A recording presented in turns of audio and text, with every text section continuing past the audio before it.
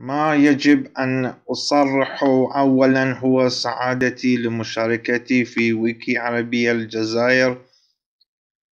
كما أشكر لجنة التنظيم على الوقت الذي خصصته لي.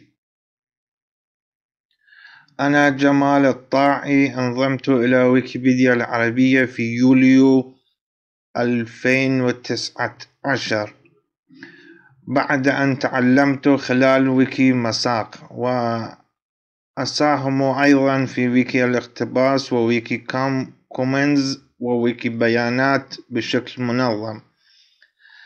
برغم أنني ضعيف في اللغة العربية الفصحى الحديثة سأحاول الحديث عن استحالة الانفتاح في مجتمع العربي. وانفتاح في ويكيبيديا العربية. ما سأقوله ليس محاضرة أو بحثا أكاديميا وليس بيانا سياسيا بل إنه قائم على تجاربي وقراءاتي وتصوراتي من حياتي ومصاحماتي الويكيبيدية.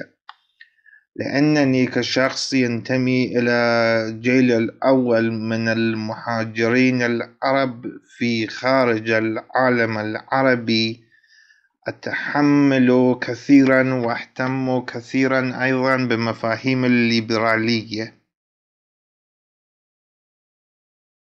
قبل كل شيء الانفتاح بالنسبة لي نوعان.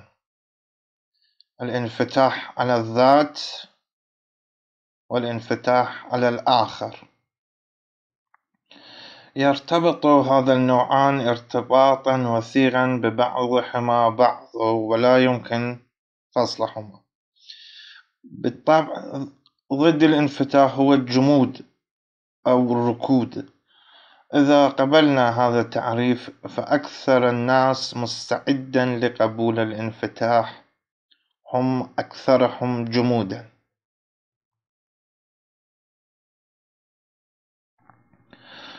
موضوعي هو استحالة الانفتاح وعنوانه الفرعي هو أسبابه وكيفيته.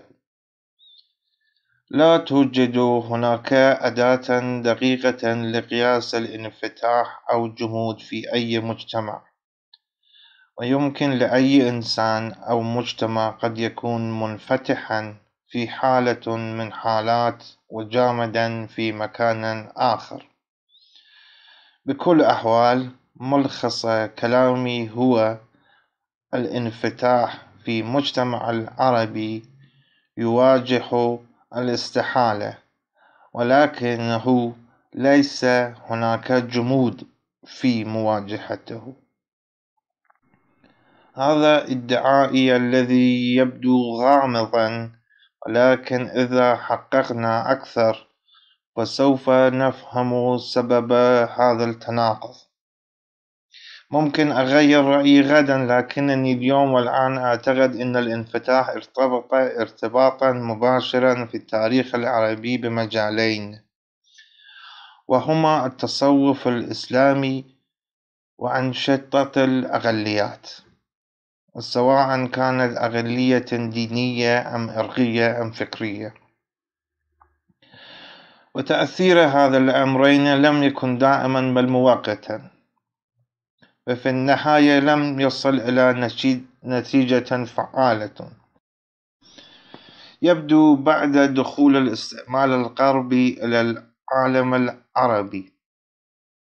أصبحت مفاهيم التي دافعت عنها هاتان المجموعتان ذات الصلة بأهداف المستعمرين وبالتالي تم تهميشهم أو قمعهم. فهناك العديد من الأسباب لمعارضة المستعمرين آنذاك أو غربيين اليوم. لكن التراث الثقافي العربي لا يمكن تجاهله. شئنا أم أبينا تاريخيا كان العرب منفتحين مع الآخرين. فهناك الآلاف من الأمثلة التي يمكنني أعطيكم لهذا ادعاء لكنني أفضل تجنبه لحفظ الوقت. من ناحية أخرى هناك عشرات الأمثلة للجمود والركود الفكري في التاريخ العربي. فالتاريخ له مثال لكل شيء لكن في النهاية يبقى فكر الذي يمكن أن ينسق مع عصره بعد هذا الوضع وفقدان مبدأ قبول الانفتاح عند العرب. من حل محل هاتين المجموعتين الداخليين هو الحضارة الغربية الخارجية. وإن الخلاف بين من يقبلون أو يرفضون هذا الحضارة والثقافة ما زال مستمرا وقد تآكل. لذلك فإن الانفتاح يعيش حالة برزخية لدى العرب. فالانفتاح في المجتمع العربي أصبح مستحيلا. ويواجه نزاعا لا علاقة له به. فليس هناك جمود في مواجهته. بل هناك تدخلات سياسية تمنعه؟ أما عن الانفتاح في ويكيبيديا العربية بالنسبة للآخر بناء على تجاربي وملاحظاتي أرى أننا نهتم كثيرا بالحضارة الغربية. ونترجم العديد من المقالات من الويكيبيديا الإنجليزية أو فرنسية. لكننا غافلين عن اللغات المجاورة للعربية كالتركية والفارسية والكردية والعبرية وأمهرية والبرتغالية والإسبانية. بالطبع في مثل هذا التقسيم لا يمكن لوم الجزائريين لأن الفرنسا يمكن اعتبارها جارتهم الشمالية. أما بالنسبة إلى فلسفات ويكيبيديا المتضاربة يبدو أننا لسنا منفتحين على فلسفات مختلفة.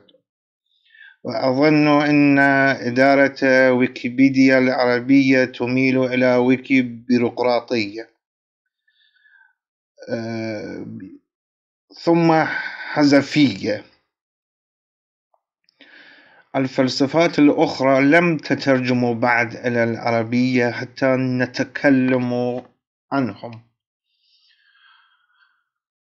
هناك جانب آخر في ويكيبيديا العربية له علاقة بالانفتاح وهو النسخ العربية الأخرى من الويكيبيديا.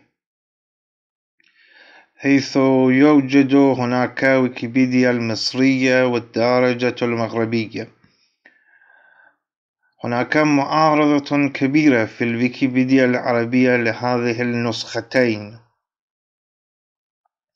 لا أستطيع أن أقول على وجه اليقين لكننا بيننا بوصفنا كعرب. ليس هناك انفتاح على الذات وعلى الآخر.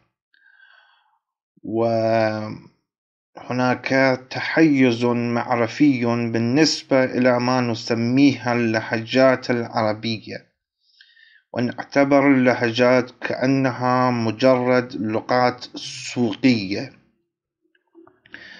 باستثناء لهذا الحالات الثلاثة التي ذكرتها أنا أعتبر ويكيبيديا العربية موسوعة منفتحة بشكل عام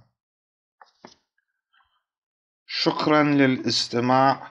تحياتي لكم وللجنة التنظيم.